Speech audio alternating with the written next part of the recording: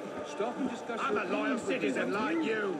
You wouldn't dare. I think... Oh, no.